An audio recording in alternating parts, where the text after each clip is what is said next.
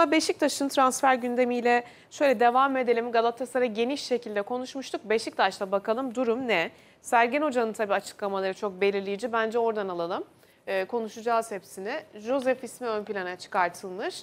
Sabah gazetesinin 19. sayfası ekranlarımıza gelecek. Brezilyalı futbolcu resmen imzayı atması için siyah beyazlar İstanbul'a davet etti. Başlıkta Joseph de Souza Beşiktaş'ta. Kulübüyle olan sözleşmesini feshetti. 1 artı 1 yıllık prensip anlaşmasına varmış Beşiktaş'ta. 1.3 milyon euro da garanti ücret alacak. Süper Lig'de daha önce Fenerbahçe forması giymişti. 96 maçı var. 10 gol attı, 5 asist yaptı. Kaliteli bir ayak. E, Fotomaç da ikinci sayfasında Joseph geliyor demiş. Orayı da e, görelim. 1 artı 1 yıllık anlaşmadan bahsedilmiş. Türkiye'ye gelecek. Elneni'nin yerine düşündüğü isim Joseph de Souza. Hoca da ilgimiz var, isterim gibi bir ifade kullanmıştı hatırlarsınız geçtiğimiz evet. günlerde hocam. Ee, sizce fayda sağlar mı? En klasik soruyla başlayalım. Çok fayda sağlar. Kalitesine, futbolculuğuna kaldı ki hem insani değerleri hem de profesyonellik anlayışı üst düzeyde bir futbolcu. O açıdan hiçbir sorun yok. Beşiktaş gibi Türkiye'de herhangi bir başka takımda ona talip olursa benim için de sürpriz olmaz. Sadece oradaki soru işaretim şu, amaç eleştirmek değil. Temenni ediyorum Beşiktaş e, yönetimi Sergen Hoca'nın istediği sayıda o kalitede bütün futbolcuları transfer ederler. E, ama benim birinci önceliğim kesinlikle orta saha olmaz. Henüz e, ilk ihtiyaç bölgesi olarak belirledikleri Santrofor'a bir futbolcu alırım. Çok iyi bir tane alırım. Hatta ekonomik yönden zorluğum varsa paramın büyük bir kısmını oraya yatırırım. Sonra da biraz e, daha az parayla iyi bir sağ bek alırım. Ondan sonra takımın diğer mevkilerine bakarım. Hı hı. Bu iki transfer yapılmadan Sosa'yı alıyor ise Beşiktaş, ben bunu yine olumlu değerlendireceğim. Bende şu anlama geliyor, evet biz Sosa'yı alıyoruz çünkü elinizde bir Atiba var, bir Dorukan var. Oyun anlayışı olarak evet. Sosa'ya yakın. Ee, onların önünde kullanabileceğiniz Mensah var, Oğuzhan var, Adem Laiç var, yeri geliyorsa. Kenan Hasiç var.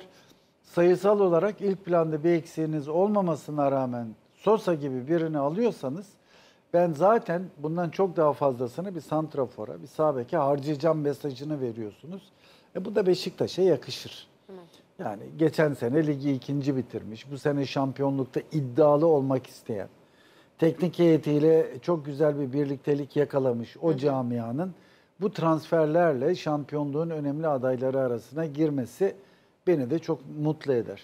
Ön bölge için de arayışlar var hocam. Konuşalım Abu Bakar ismi gündemde. Bir de Samatta sürprizi forvet listesinde e, Samatta'nın da olduğu gelen bilgiler arasında yine foto maçtaki haber e, oydu. E, sanırım Terim Falcao'dan önce onun alınmasını istiyordu değil mi? Galatasaray adına çok konuştuk. Yazıldı, çizildi Tanzanyalı oyuncu. E, sonrasında Aston Villa'ya transfer oldu. Bu sezon itibariyle de Beşiktaş'ın gündemine gelmiş. Onu bir konuşalım. Diğer yandan e, Abu Bakar'la da ilgileniyorlar. Sergen Yalçın zaten bizim görüştüğümüz adaylardan bir tanesi ama sağlık raporu önemli demişti. Porto ile sözleşme fesi için anlaşmışlar. Tabii testleri iyi çıkarsa imzayı atacak. Taraftar da istiyor ama orada yani sağlık durumu tabii soru işareti. Abu Bakar'la başlayalım. Ee, hepimizin çok yakından bildiği bir futbolcu. Bence artık e, bunları çok fazla da konuşmamak lazım. Çünkü Abu Bakar'la ilgili yapılan her konuşmada ben onun kalitelerinden, Beşiktaş'a kattıklarından, katabileceklerinden çok sakatlığının ön plana çıkarıldığını görüyorum. Bu da benim şu anki tarzım e, çok değil. Çünkü ben insanlara çok güvenirim. Hem futbolcuların kendilerine hem de her şey bir tarafa artık bütün takımlarımızda bence çok kaliteli sağlık ekipleri var. Aynı sağlık ekibi Beşiktaş'ta da mevcut. O yüzden onlar bir sakat futbolcuyu transfer etmeyecek kadar donanımlılar.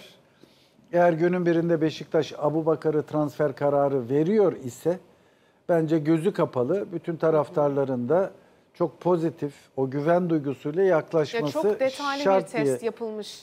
Evet. Ee, ve bu test sonuçları da İsviçre'ye gönderilecekmiş. Böyle bir detay da gördüm. Ee, ve gerçekten yani olumlu çıkarsa, hiçbir sorun çıkmazsa transfer olacak zaten. Ee, Beşiktaş bu konuya oldukça önem veriyor. Yani Sergen Yalçın da evet. bunu söylemişti.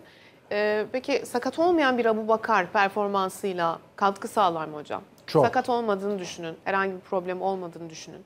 Ee, çok katkı sağlar. Hatta şunu söyleyeyim, Beşiktaş'ta olduğu sene e, zaten çok büyük katkı sağladı. Kaldı ki o dönem şu an ön plana çıktığı kadar geçiş futbolu çok ön planda değildi. Hızlı hücumlar bu kadar çok ön planda değildi.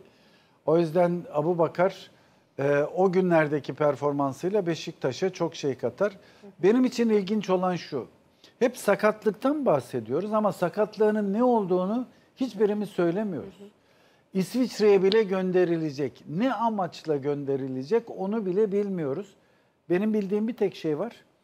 Türkiye'de sağlık hizmetleri artık bizim iyi dediğimiz birçok ülkeden çok daha iyi. Bunu korona vakasında da çok net bir şekilde görüyoruz. Çok samimi söylüyorum. Hiçbir futbolcumuzun yurt dışına gidip de ameliyatına, tedavisine artık gerek duymayacak bir seviyeye geldik. Gözü kapalı İsviçre'ye gönderme yerine Beşiktaş'ın doktorlarına teslim edin. Onlar her şeyi hallederler. Sağ 5. aday Rozier. E, takım gazetesinin 15. sayfasına da bakalım. Beşiktaş bir yandan yani ön bölge için arayışlar var. Sağ bek için de tabii oyuncu bakıyorlar. Birçok adayı konuştuk. İşte Santon gündeme geldi. Yedlin, Vag ve Sangare dedik. Spor bültenimizde de vardı ki konuşacağız. Bir de Valentin ismi gündeme geldi. Portekiz ekibinde oynayan oyuncu. 24 yaşında. Satın alma opsiyonuyla bir kiralama teklifi yapılacak. Yeni hedef Fransız oyuncu. Ee, bu arada Sangare defteri de kapandı. Kesin olarak vazgeçilecekmiş. Antalya Spor'la bir görüşme yaptılar ama henüz bir olumlu sonuç çıkmadı. Sanki rafa kaldırılacak gibi. Sabek'e nasıl bir isim beklenmeli Beşiktaş adına Ahmet Hocam? Ee, şimdi Sergen Hoca'nın oyun anlayışında da büyük takım olmanın, büyük takım demek daha hücumcu beklerinizin olması anlamına gelir. Kaldı ki oyunu e, biraz daha önde oynamayı seven bir anlayışa da sahip olduğu için e, Beşiktaş'ın e, savunmadan ziyade belki de birinci görevinin savunma olduğunu unutmadan ofansa katkı yapabilecek beklere ihtiyacı var. Bence Sangare işi tamamıyla kapanmadı. İşte daha dünkü konuşmalarda Beşiktaş yeni bir teklifle 1 milyon olan teklifini 1,5 milyona çıkardı diye bir bilgi geldi. Eğer bu doğruysa ben e, bu transferin gerçekleşeceğini düşünüyorum. Nedeni de şu. Sangare'nin şu an gidebileceği başka büyük bir takım yok. Galatasaray sağ bek aramıyor. Fenerbahçe, Başakşehir, Trabzon hiçbiri sağ bek aramıyor. Kaldı ki Antalya'nın elinde Sangare gitse dahi Antalya'nın bütün ihtiyaçlarını giderebilecek Bünyamin Balcıları var. O yüzden bence bu transfere e, şu andan itibaren Antalya biraz daha e, pozitif yaklaşacaktır. Ben o transferin bek- e, gerçekleşeceğini sanıyorum. Diğer taraftan da e, Roko gitti. İsim Atmirin'le Douglas'a biz sizle devam etmeyeceğiz. E, altyapıda çalışmalarınızı sürdürün diye orası gösterilmiş. Bu Beşiktaş'ın elindeki yabancı kontenjanının açıldığını gösteriyor. O yüzden yabancı futbolcu da oraya tabii ki mutlaka araştırıyorlardır. Peki, Ama bizi bilen, tanıyan birinin. Türk birinin önümüzdeki senelerde daha da önem kazanacağını biliyoruz. Sangare de oraya bence çok uygun. Yani o defter tamamen kapanmadı diyorsunuz. Bence Sangare. kapanmadı. Ben olsam e, Sangare'ye öncelik veririm.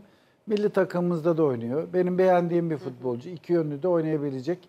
Beşiktaş'ın ihtiyaçlarını e, çok rahat giderebilecek kaliteye sahip. Peki Fenerbahçe'de durum ne? Ahmet Hocam, Fenerbahçe'nin biraz transfer gündemini de değerlendirelim istiyoruz. Orada da tabii bir hareketlilik var. Hemen Fenerbahçe'nin sayfalarına uzanalım. Sozla açıklamalar yaptı, birazdan geleceğiz oraya. Fener'de kritik 48 saat, Fanatik gazetesindeki başlıkla hemen başlayalım. 8. sayfa ekranlarımıza gelecek.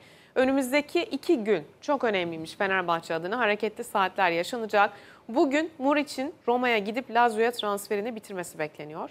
Ayrıca limit konusunda da e, çok kritik olan Bankalar Birliği anlaşması da hocam 48 saat içerisinde açıklanabilir.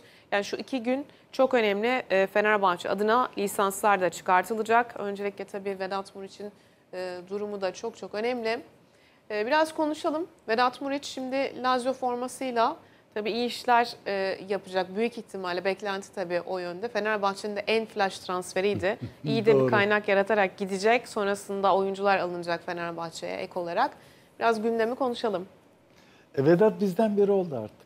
Sizin beklentilerinizi karşıladı mı mesela hocam? Kesinlikle karşıladı. Türkiye'ye ilk geldiği dönemi biliyorum. Ee, Giresun